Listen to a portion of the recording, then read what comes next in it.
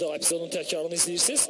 Topu vurduqdan sonra iki ayağı ilə Yasin Həmidin üstünə getdi. Stankoviç bu qərarla razı deyil. Topu oynadığını işarə verir böyük ehtimalla. Hər halda Rauf Cabbarov sarı vərəqəsini göstərmişdi ona. Rauf Cabbarov köməkçi hakimə yaxınlaşır. Nəysə məsləhətləşirlər və nə olacaq?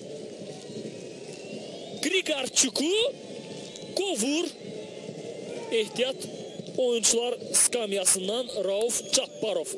Təxminən belə başa düşürük.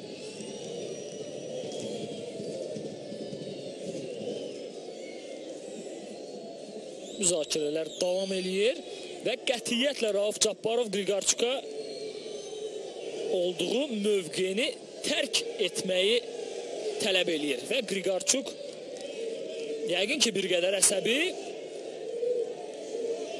bax beləcə rahat bir şəkildə artıq tribunadan oyun izləyəcək.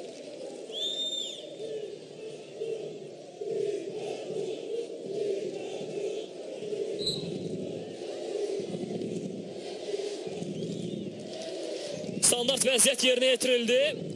Qapıya zərbə vurmaq olar Yasin Əmid. Yox, bu fürsəti əldən verir. İndi geriyə oynayacaq böyük ehtimalla. Ramazan Abbasov qapı önünə baxır, ötürməsini eləyir.